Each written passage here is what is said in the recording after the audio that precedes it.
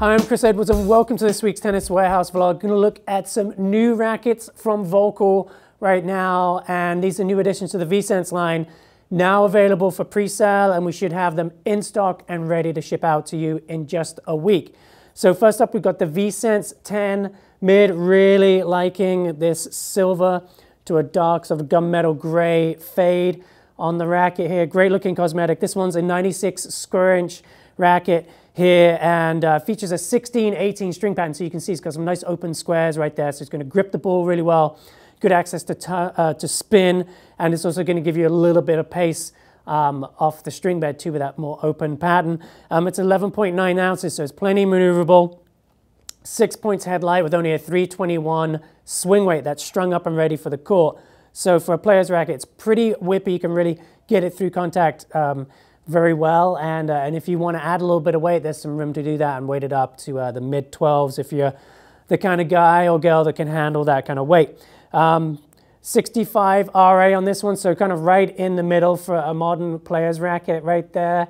And uh, offers a nice crisp, clean feel. Hit this one quite a bit and uh, found it really easy to generate some pace and spin on serve and especially off the ground right there. That's the V-Sense 10 mid.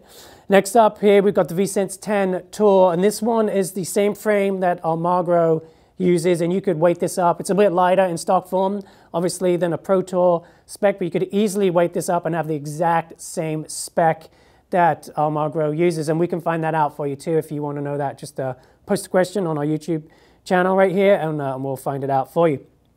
This one's a 98 square inch racket head right here. It's a 19 millimeter cross section on this one, so you can see quite a nice thin beam to this. 11.5 ounces strung up and ready to go, so plenty of room to add weight if you're a stronger player. Uh, four points headlight, and that gives it a 325 swing weight we found on average so far.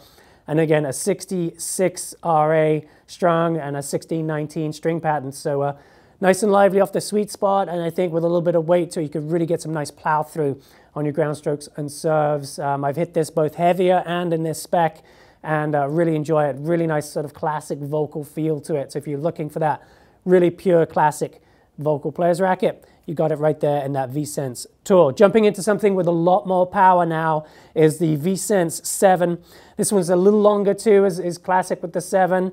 Uh, 27.3 inches long, uh, strung up. It's uh, a temp, um, strung up. It's two points headlight with a 321 swing weight, a 71 RA, and it's got a 104 square inch head size. We don't have string in it right now, but we had spec'd it uh, prior to this.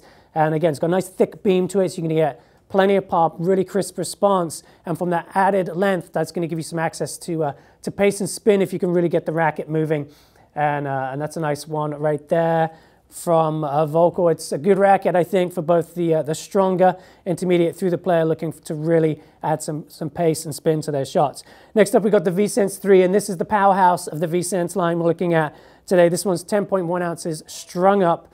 Uh, it's only one point headlight, so very close to even balance on this one. It's got the elongated grommets right there too, so it's going to really just uh, offer a very plush feel off the sweet spot and a ton of power on every uh, shot. 27.8 inches long, so uh, a very extended racket.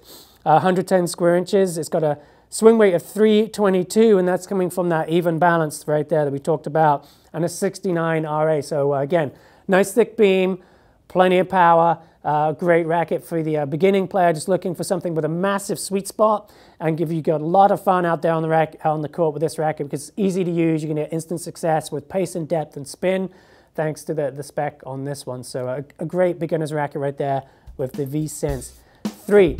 That's all we got this, for this week. Thank you so much for joining me.